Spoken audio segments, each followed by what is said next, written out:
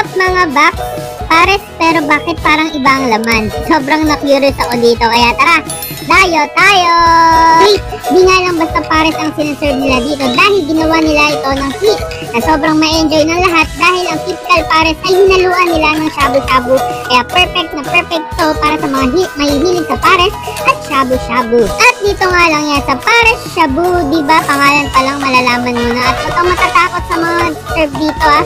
Dahil mababait naman sila. Sadyang ganyan lang talaga ang uniform nila. Sabi bukod sa pares at shabu-shabu, meron din silang street food dito. At di naman ako nagpahuli at titikman din ito lahat. Pesos pwede nyo na matikman ang kanilang pares at matitikman nyo naman ang overload pares shabu for as low as 130 pesos.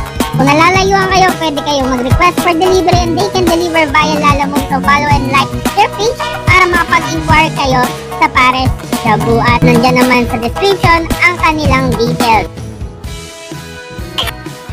So if you like this video guys, like and subscribe, hit the notification bell para lagi kayong updated. Tara, punta tayo sa Para at kumain tayo.